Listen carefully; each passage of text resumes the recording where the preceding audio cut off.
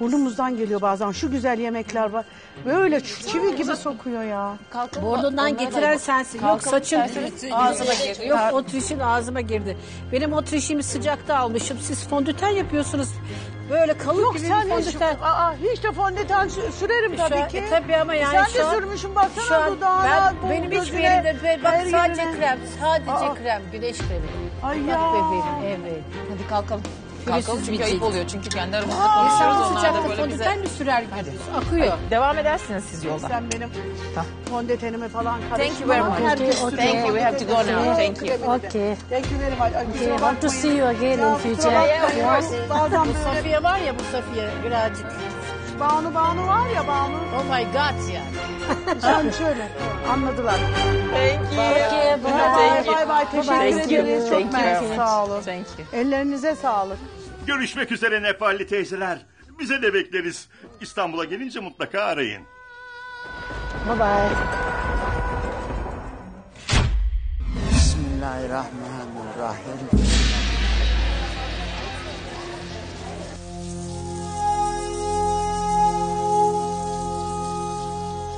Budayı bıraktılar, bana doğru geldiler.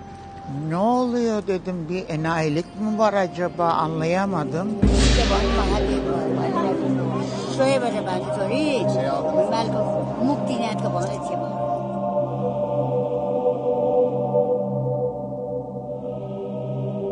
Kadınlar ayağına kapandı Bülent Hanım'ın. Ayağını öpmeye çalıştılar, eteğini.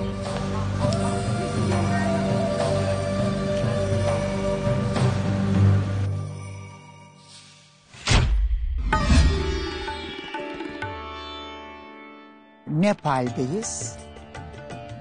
Buda'nın e, meydanı, me- orada Buda meydanı e, deniyor. O meydandaki ibadetlerine e, gittik. Ben tamamıyla oranj bir öyle bir sarı giydim ve o makyajı yaptım. Oranın bir e, çok önemli e, makyörü dediler.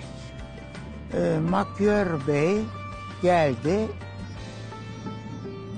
Kalem tutmaktan aciz olacak iş değil.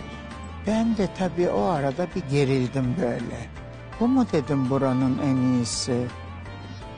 E, bir baktım. Müsaade dedim etsin. Ben bir yapayım. Ondan sonra dedim karşılıklı e, istişare edelim dedim.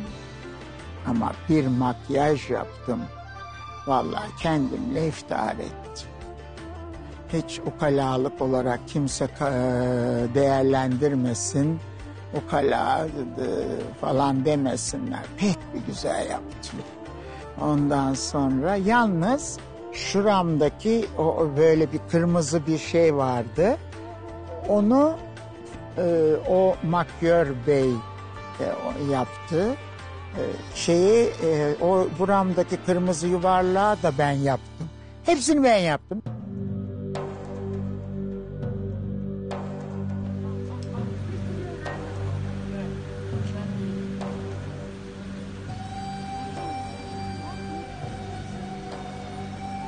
Bu da zannettiler kadınlar ayağına kapandı. Bülent Hanım'ın ayağını öpmeye çalıştılar eteğini. Aa, ne yapacağımı şaşırdım.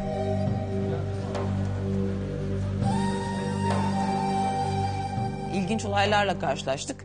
Ee, insanlar zaten her yerde Bülent Ersoy'la fotoğraf çektirmek istiyorlar. Tanısalar da tanımasalar da.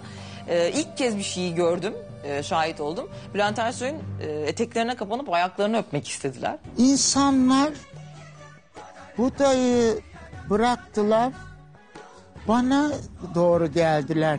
Ne oluyor dedim bir enayilik mi var acaba anlayamadım. Bunlar yere yatmaya başladılar. Bülent Hanım bayılacak kız.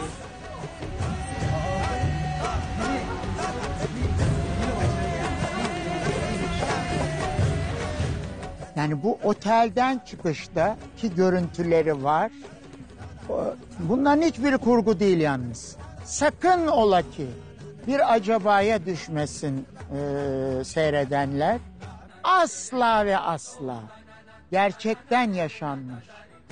Çocuğunu da çağırdı.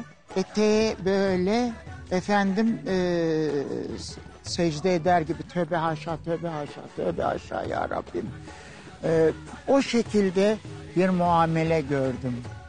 Eee, bu söylediğim gibi bir eee, başka elektrik. Yani bu elektriğin tarifi yok.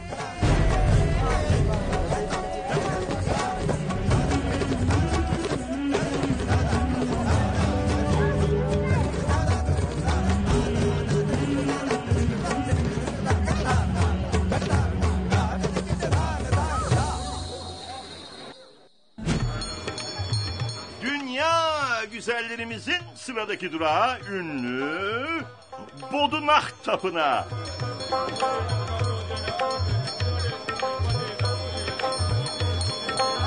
Nepal'in başkenti Katmandu bir tapınaklar şehri. 40 metrelik yüksekliğiyle Katmandu'da yer alan en büyük Budist anıt olma özelliğini taşıyan Bodunak Tapınağı da 500 yıllık bir geçmişe sahip ve her Budistin en az bir kere gitmesi gereken bir ziyaret mekanı. Bismillahirrahmanirrahim. Budist rahiplere özgü turuncu kıyafeti ve yapılması saatler süren Buda makyajıyla etkileyici bir hale bürünen Brent Ersoy, kendisini gören Budistler tarafından yoğun bir ilgiyle karşılanıyor. Bu da kıyafetleri giyelim. Bu da kıyafetleriyle Bülent Hanım'la gezelim dedik. Nepalliler meraklı gözlerle meydanı turlayan ünlülerimizin peşine takılıyorlar. Ay, bir otelden bir çıktı, bir baktım Bülent Hanım'ı bir gördüm. Ay inanamadım. O makyaj. Sabahtan akşama kadar o makyaj yapılmış. Ay bir türlü Bülent Hanım inmiyor. Bir türlü inmiyor. Allah'ım bekliyoruz bekliyoruz. Sonra hava karardı. Ondan sonra niye gelmedi, niye inmedi falan. Aa bir geldi ki şaşırdım. Olamaz böyle bir şey. Aynen tablo gibi bir makyaj. Ay tam bir Buda olmuş. Burada hep dönüyorlar herkes. Bunları elleyelim mi? Böyle Bülent Hanımcığım. Böyle değdiriyorsunuz elinizi. Şans gelsin. Aa, evet. Şans için. Dünya güzellerimizi takip eden meraklı kalabalık dakikalar geçtikçe ilginç bir şekilde çoğalmaya devam ediyor.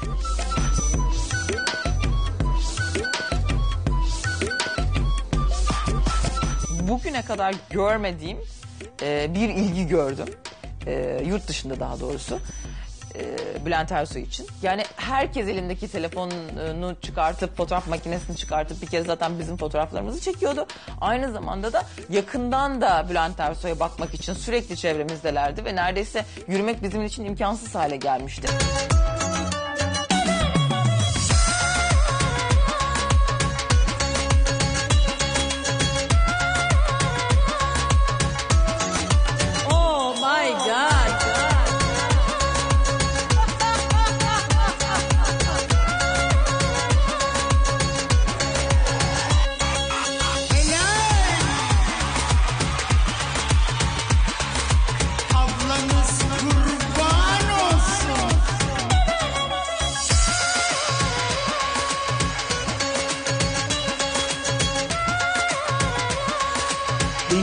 Dünya güzellerim.